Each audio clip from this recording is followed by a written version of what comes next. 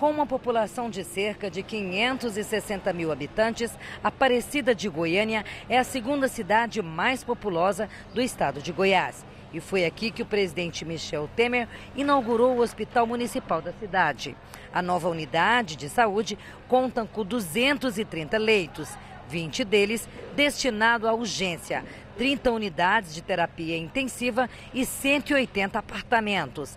A construção é moderna, com equipamentos de alta tecnologia, teve investimentos de 120 milhões de reais. Deste total, 100 milhões vieram no governo federal. É um hospital público, na verdade, de última geração.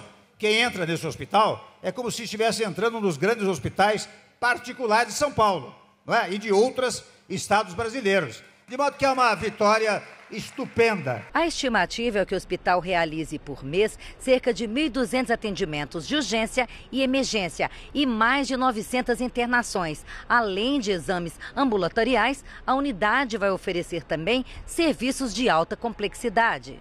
O Hospital Municipal de Aparecida ganhou os primeiros leitos de internação pediátrica da cidade, evitando a necessidade do deslocamento dos pacientes para outras cidades. Esse hospital vai desafogar essas UPAs e vai apoiar o hospital de urgências que tem dentro do município, que é gerido pelo Estado.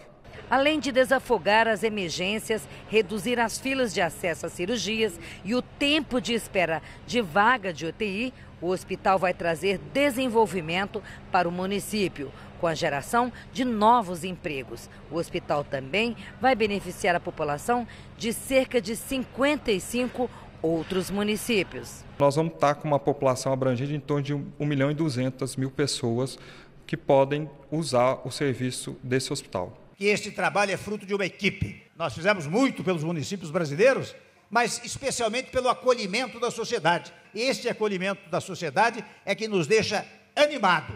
E animado é uma palavra que vem de ânima, que vem de alma. Portanto, eu ponho a minha alma na administração e agradeço ao povo de Aparecida, de Goiânia e de Goiás.